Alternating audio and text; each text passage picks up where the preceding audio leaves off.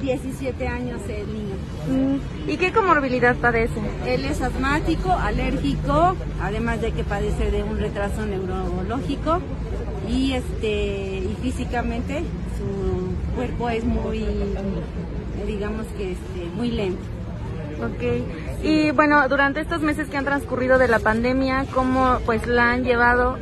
¿Tienen mucho, ma mucho mayor protección? No sale, él no sale, tiene buena alimentación, nada de chatarras, puras verduras y cosas de este que no le ocasionen daños y está en casa, encerrado.